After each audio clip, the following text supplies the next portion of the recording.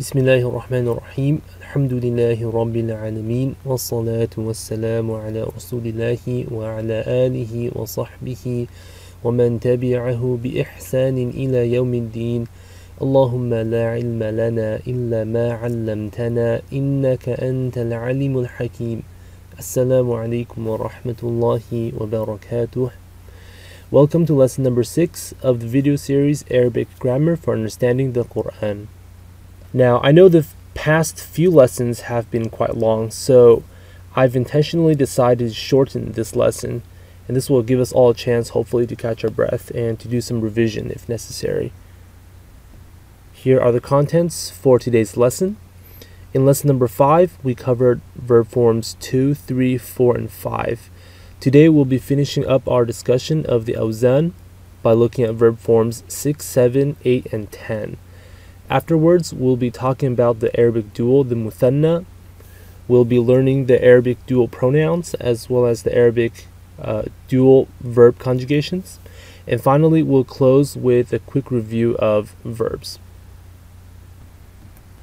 Verb form number 6. The pattern for verb form number 6 is تفاعل يتفاعل التفاعل تفاعل يتفاعل التفاعل What additions do we have? We have a ta fixed to the very front and we also have an alif attached to the first root letter. So that gives us an elongation.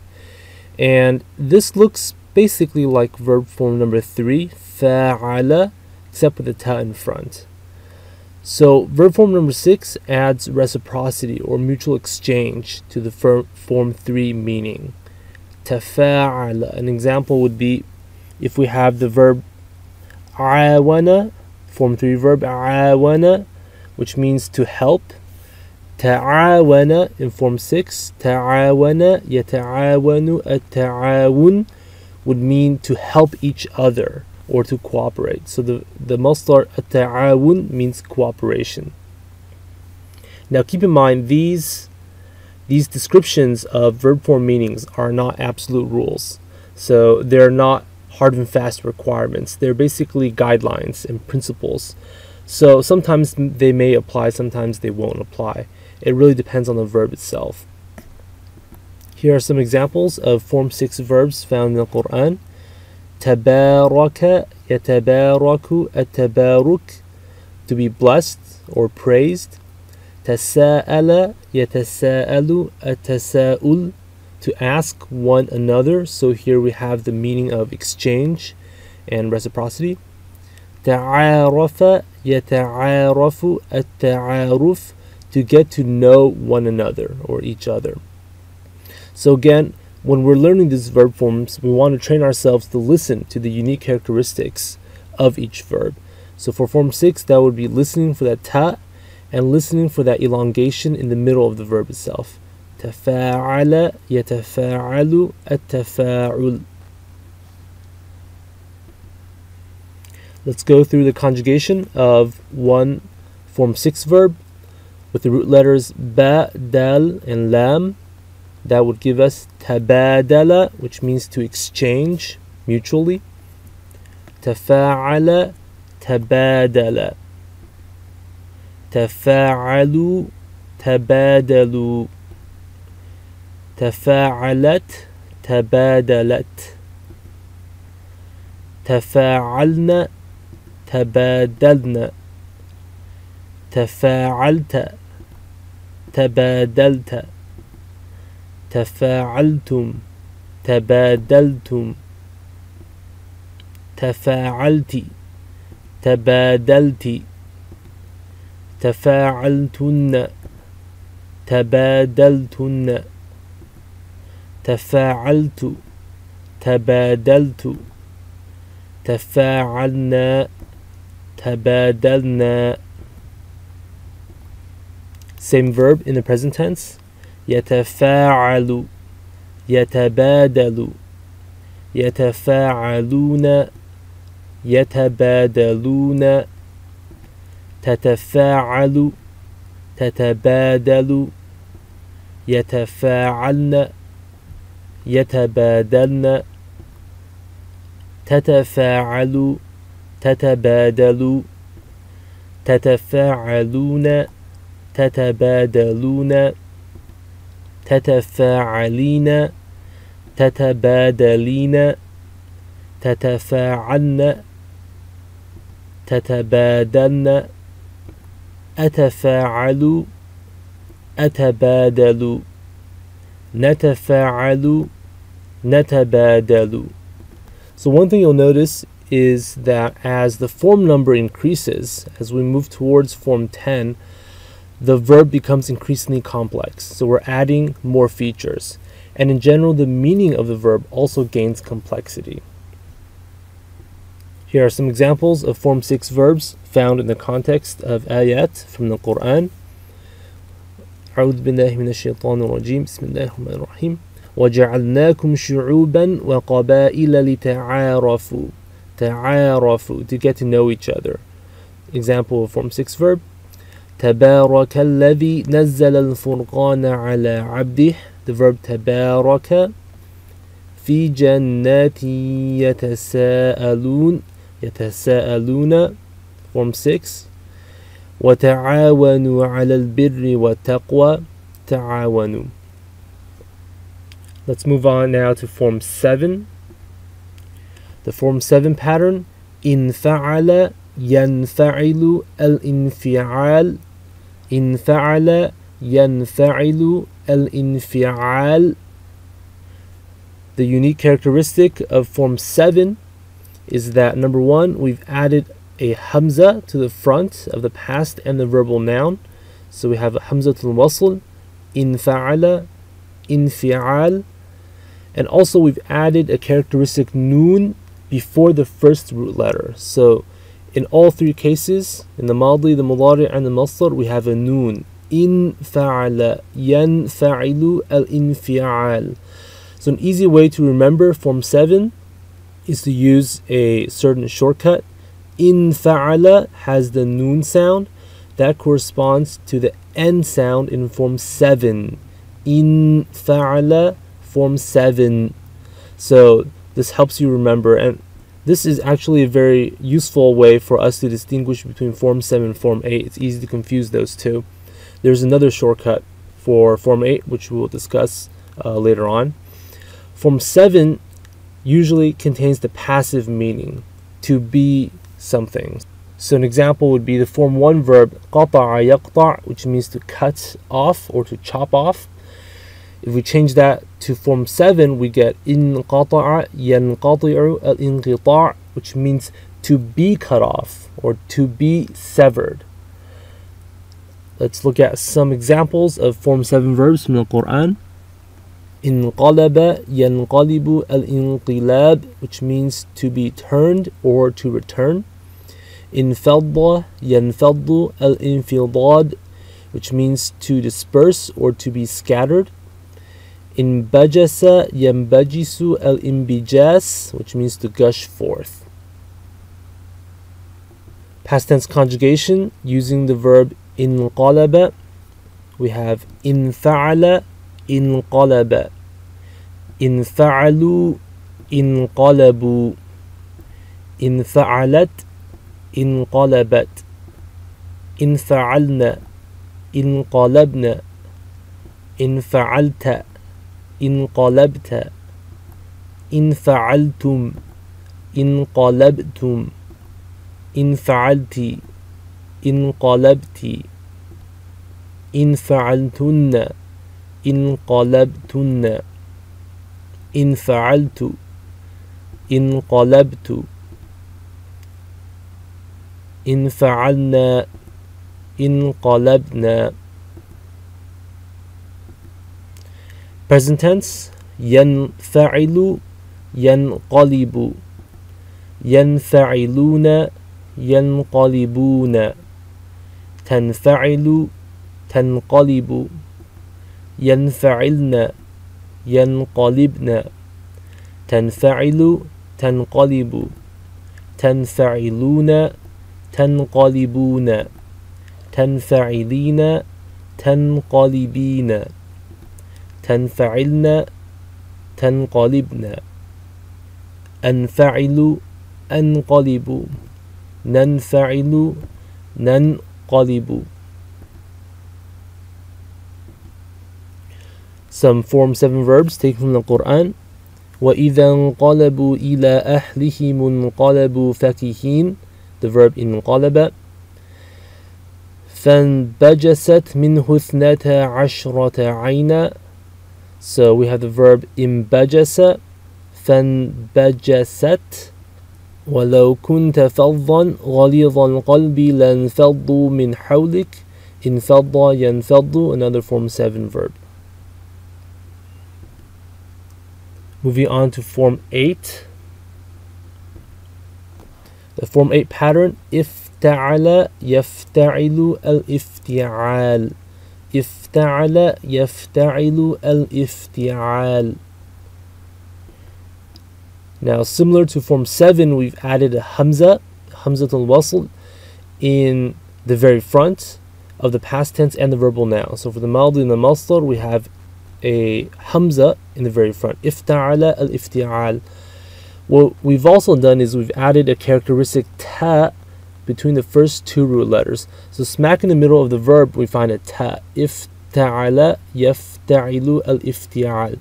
So this is the, the more important of the two characteristics because we find it in the mudari as well. It's basically present in all three cases. An easy way for us to remember form 8 is that this ta gives us a t, -t sound, if ta'ala, and that corresponds to the t sound in English, form 8. If ta'ala, form 8. So for form 7, we have in fa'ala. For form 8, we have if ta'ala. So the n and noon and the ta and t sounds are easy way easy ways for us to remember form 7 and form 8. Just a uh, coincidental correspondence in the English and Arabic phonetics.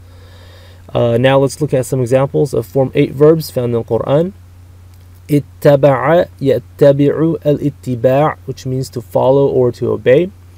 Ittakhadha yattakhidhu al-ittikhadh to take. Ihtada yahtadi al-ihtida' to be guided. Ittaqa yattaqi al-ittiqa' to be on guard. Or in the context of uh, the Quran and Islam to be conscious of and to fear Allah so you'll notice that some of these verbs take a shadda on top of the ta like ittaba'a, ittakhadha, ittaqa and that's because of the root letters so for ittaba'a we have ta ba and ayn. So ta is actually one of the root letters, the radicals. Uh, for ittakhadha, one of the radicals is hamza, hamza, kha, and the. And the ittaqa, we have a waw actually, a waw, qaf, and a ya. So when you have cases where the radicals, uh, the first radical of the verb is a ta or a hamza or a waw, uh, we have to use a shadda in Form 8. We have to use a shadda. This is a transformation dictated by phonetics, so we won't go into the details, but what you want to do is pay attention for a shadda that comes in the front of the verb, shadda on top of a ta. That is a telltale sign of a Form 8 verb. Conjugation practice using the verb ikhtalafa, which means to defer. افتعل اختلف افتعلوا اختلفوا افتعلت اختلفت افتعلنا اختلفت افتعلت اختلفت افتعلتم اختلفتم. افتعلت اختلفت. افتعلتن اختلفتن. افتعلت اختلفت. افتعلنا اختلفنا. Present tense. يفتعل يختلف. يفتعلون يختلفون. تفتعل تختلف. يفتعلن يختلفن. تفتعل تختلف. تفتعلون تختلفون. تفتعلين تختلفين. تفتعلن تختلفن. أفتعل أختلف. نفتعل نختلف So again, pay attention to the characteristic ta found in the middle of the verb between the first and the second radicals. That ta is the main characteristic of the form 8 verb. So form 8 is fairly common in the Quran, unlike forms 6 and 7. Those tend to be a bit more rare, but form 8 you find all over the place. Uh, وَيَشْتَرُونَ بِهِ ثَمَنًا قَلِيلًا. The verb اشترى يشتري is a form 8 verb. اصبروا وصابروا ورابطوا واتقوا الله. Part of the last ayah of Ali Imran. As a command form. This is a form 8 verb. إن يتبعون إلا ظن وإنهم إلا يخرصون. يتبعون to follow. Form 8 verb. اتبع يتبع. الاتباع and from Surah Yunus فمن أظلم ممن افترى على الله كذبا افترى which means to invent or to fabricate also a form 8 verb so again you want to look for a ta in the middle of the verb such as an in ikhtalafa or in ijtama'a or you're looking for a ta with a shadda on top like in yattabi'una wattaqa these are usually indications of form 8 verb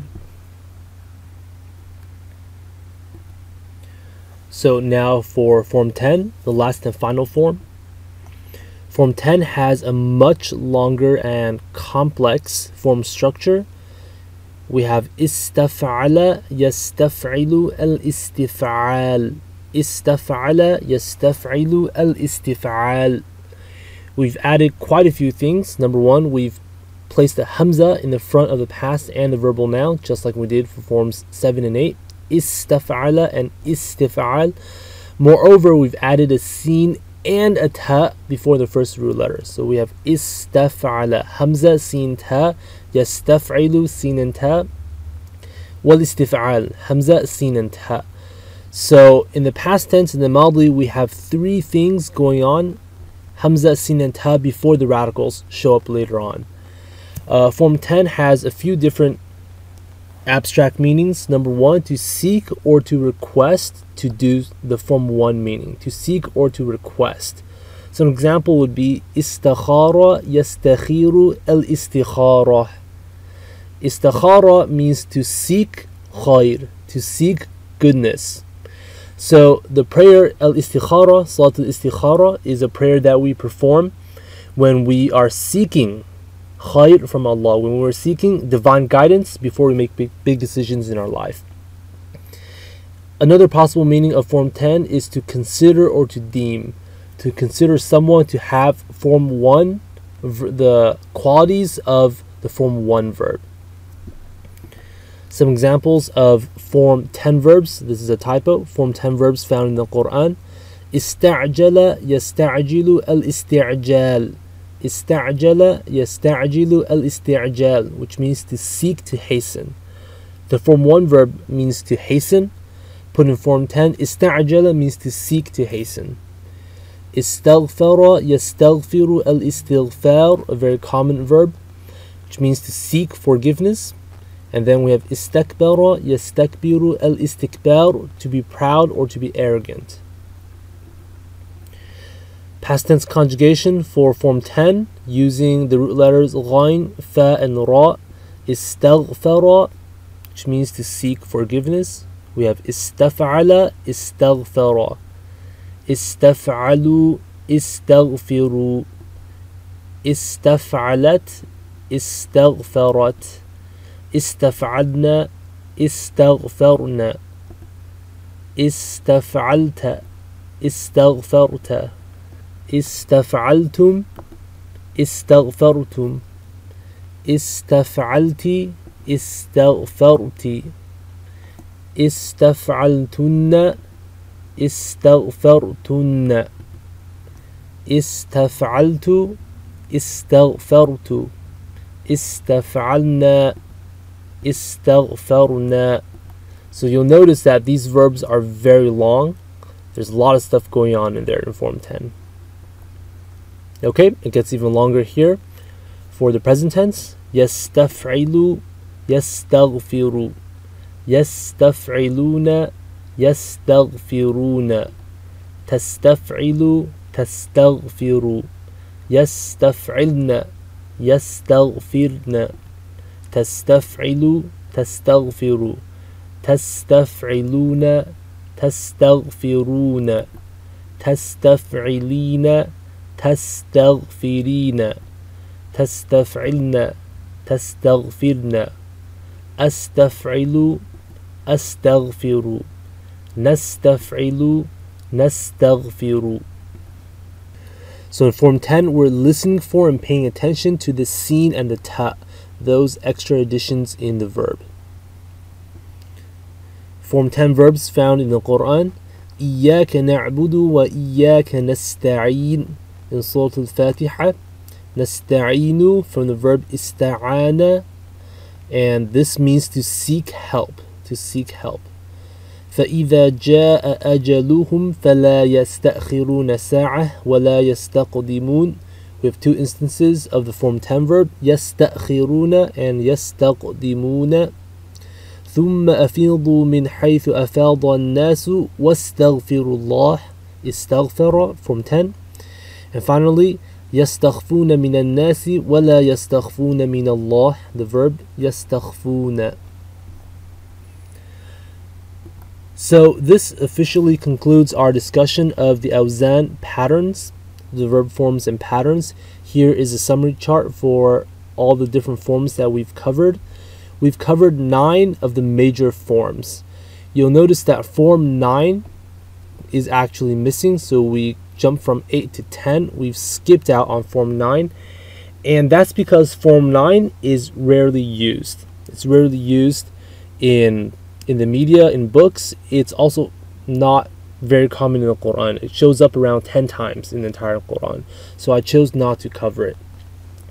I cannot emphasize enough how important and how crucial it is for you to know these verb forms by heart. The Madi, the Masdar, the Madi, the Mudari, and the Masdar as a set for each form. The Awzan, this chart allows you to conjugate verbs. It allows you to use the Hans Wehr dictionary to look up different words. It allows you to predict the meanings. It allows you to make derivations like ism fa'il and ism maf'ul, etc., etc. So try your very best to commit these to memory. And like I mentioned in the previous lesson, the best two strategies are number one, to repeat, to repeat across, like this. Form 5, تفعل يتفعل التفاعل and to emphasize those unique sounds to each verb. So in form 5, that would be the shadda. That would be the shadda. In form 6, that would be the ta and the elongation. Right? So form 5 and 6, if you slur them, tafa'ala, tafa'ala, they sound really close. So what you want to do is you want to elongate that alif in form 6. Tafa'ala versus tafa'ala. And number two, to use examples. Okay, so look at examples of each of the forms. Inshallah, these two strategies will help you, help you memorize this chart. Okay, it's now time for us to switch gears and to move on to topic number two, al-muthanna, al-muthanna, the dual.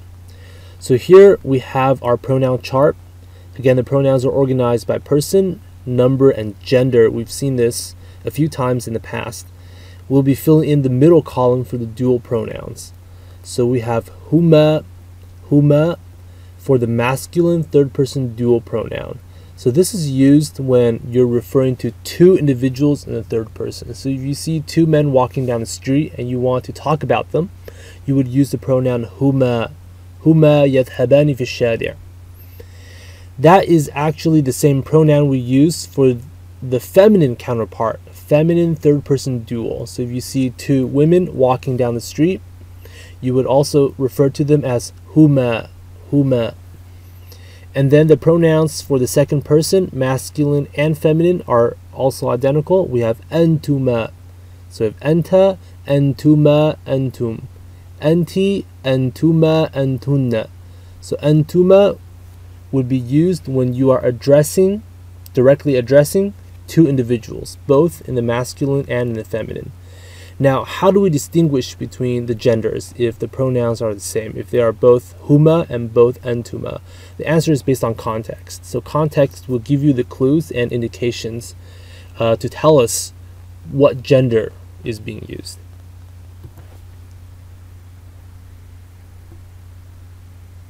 So huma again means they two, and antuma means you two.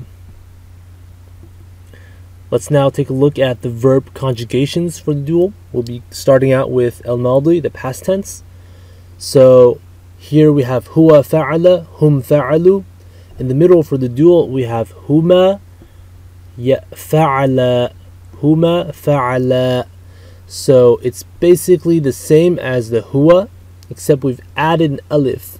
So we just make that lam a little bit longer. Huma fa'ala. Example would be huwa dhahaba, huma dhahaba. Or huwa qatala, huma qatala. In the hiya, or in the, sorry, in the feminine form, we have hiya fa'alat, huma fa'alata, huma fa'alata. So what we've done here is we've removed the sukun, we've added fatha, and then we've also added an elongation, a long alif to the end. Huma fa'alata. Hiya dhahabat. Huma dhahabata. Or hiya qalat. Huma qalata. On to the second person verbs in the Madi. We have anta fa'alta. Antuma fa'altuma. Fa'altuma. And that's also the same case with the feminine second person. Anti fa'alti, antuma fa'altuma. So you'll notice that for the second person, the endings of the past tense verbs correspond to the pronouns. Anta fa'alta, antuma fa'altuma, antum fa'altum, anti fa'alti, antuma fa'altuma, antunna fa'altunna. So fa'altuma is the same for both genders example would be أنت ذهبت أنتما ذهبتما ذهبتما As for the present tense الفعل مضارع المرفوع we have هو يفعل هما يفعلان يفعلان For the feminine version we have هي تفعل هما تفعلان تفعلان So Besides the front, we have a ya for the huwa and a ta for the hiya. We also have a lani. We've added this to the end of the verb. Huma yaf'alani or huma taf'alani. For the second person dual pronouns, anta taf'alu, antuma taf'alani. And this is also the same same verb that we would use in the feminine case. Antuma taf'alani. So you'll notice that the verb taf'alani is repeated a total of three times in our chart. We have huma taf'alani, third person feminine, dual, as well as antuma taf'alani for the second person dual, masculine and feminine. So this comes up a total of three times. And again, context would indicate which situation, which case we are referring to. So the dual al muthanna isn't very common in the Quran. You're not going to find it in too many places, but it does make a few significant appearances in some surahs. So, for example, in the stories about Musa and Harun, you'll find the dual because we're talking about two individuals. Or in the story of Musa and Khidr in Surah Al-Kahf, you'll find al muthanna. And another case is also in Surah Al-Kahf, the story about the owner of the two gardens. وَضْرِبْ لَهُمْ مَثَلَ الرَّجُلَيْنِ جَعَلْنَا لِأَحَدِهِمَا جَنَّتَيْنِ So in that story you'll find the muthanna. And also in other scattered places in the Quran. So when you do hear the dual, it's impossible to miss, right? Because you have some characteristic features of the dual that stand out. So one of those features is the alif at the end. There's an alif. So the dual pronouns and the dual verbs all have an alif at the end. When reading the Quran or listening to its recitation, pay attention for that alif. Be on the lookout for it. So, fa'ala, an extension, elongation at the end. Fa'alata, fa'altuma, antuma, taf'alani, yaf'alani, and huma, there's a shared alif in all these cases. What are the dual verb case endings in the present tense? The dual verbs present tense case ending markers are exactly the same as those markers for verbs conjugated for anti, antum, and hum. So, as a reminder, that marker for the marfu' will be thubut and noon, the presence of the noon, and the marker for the mansub and the majzum will be hadf and noon, dropping the noon. So, all five of these verbs i.e., those verbs conjugated for hum, antum, anti, huma, and antuma, all five of them are collectively called al-af'al al-khamsa, al-af'al al-khamsa, because of their shared markers. And al-af'al al-khamsa, this phrase literally means the five verbs. So, their case endings all revolve around the noon, the presence of the noon in the marfu' and the absence or elimination of the noon in the majzum and the mansub. So let's go through the case endings in a little bit more detail in this slide.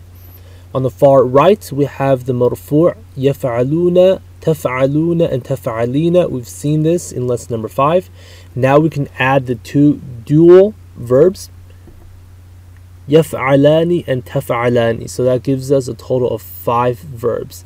And all five have thubut and noon, the presence of the noon as the marfu' marker. Now this noon can be dropped in the mansub and the majzum. So if we add a nasib such as an or lam ta'lil, we have an yaf'alu li yaf'alu, an taf'alu li taf'alu, an taf'ali li taf'ali. What happens when we add the nasib in front of the dual verb?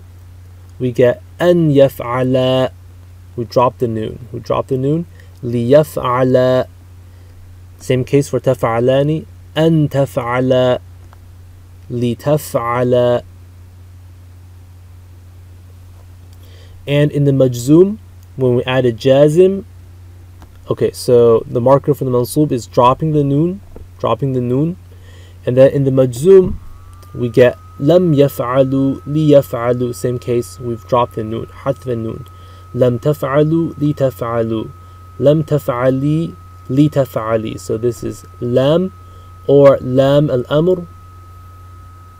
Same case happens to our dual verbs. لم يفعل li yaf'ala or لم تفعل li taf'ala dropping the noon. So hopefully this slide clarifies the case ending markers for al-af'al al-khamsa. Again, to review, in the marfu' we have the presence of the noon, that is the marker. But in the mansub and the majzum, we have to drop the noon. Let's now take a look at some examples of al-muthanna found in the Quran. Example number one. فأراد ربك أن يبلغ أشدهما ويستخرج كنزهما We have two instances of the dual in the mansub, al-fi'l mudari' al-mansub. Uh, the reason is we have the an, so we have يبلغ in the marfu' this will be يبلغani, and then we have يستخرج in the marfu' this would be yastakhrijani. And by the way, this is a form 10 verb. So in both cases, we have to drop the noon. We have hath and noon because of the nasib an. Example number two, yuridani ay yukhrijakum min ardikum. We have the verb yuridani, form 4. And we hear that alif, yuridani, that elongation. Uh, this is al-fi' mudari' al-marfu' It's the default case because there are no special factors around. And the marker would therefore be ثبوت النون, presence of the noon. فبأي آلاء ربكما تكذبان This is تكذبان تكذبان conjugated for أنتما you two. The case is marfu' and the marker is ثبوت النون. So why is Allah subhanahu wa ta'ala using the muthanna in this case? It's because Allah is addressing both men and jinn. men, and jinn.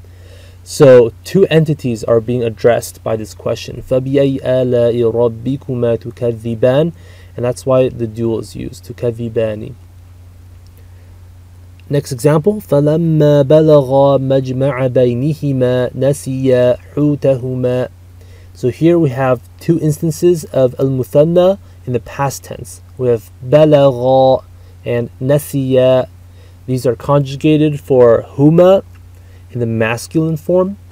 And these are in the madi, so we don't have a marker because the madi is mabni, it's fixed. قَالَتَا أَتَيْنَا طَائِعِينَ we have qalatha. This is conjugated for huma, but the feminine version, the feminine version. So we have qalatha. Again, in the madi, no marker because it, it is mabniya. And the last example, yuridani ay yukhrijakum min ardikum. This is a repeat of a previous ayah. So now we're focusing on the second dual verb, yukhrija, yukhrija, this is in the mansub case, al-fi'l mudari' mansub, because of the nasib an, an yukhrijakum, which means we have to drop the noon. So the marker is hadf an noon. So that concludes our discussion of al-muthanna, the Arabic dual. Here is a quick review. I'll be presenting two diagrams or two uh, schematics, two charts, to summarize what we've covered in this lesson and the past lesson uh, regarding markers and present tense cases. So again, this is a, is a chart we've seen in lesson number five except we've updated part of it. So now we have all the pronouns accounted for. On the top, we have verbs conjugated for huwa, hiya, anta, ana, nahnu. The markers are our basic short vowels, dhamma for the marfu', fatha for the mansub, and sukun for the majzum. On the bottom, we have the af'al khamsa, the five verbs. Those are the ones conjugated for hum, antum, anti, huma, and antuma.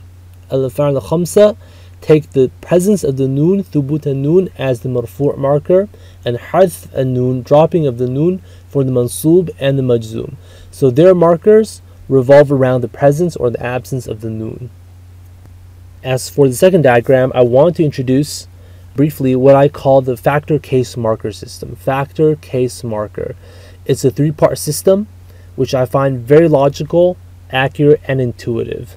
So this is a very straightforward approach in grammatical analysis. What you're doing is you're asking yourself three questions. Number one, what is the factor? Number two, what is the case? Number three, what is the marker? Factor, case, marker in that exact order. So a lot of students like to jump around when they're doing i'rab. They like to go from the marker to the factor to the case or the case to the factor to the marker, all sorts of stuff.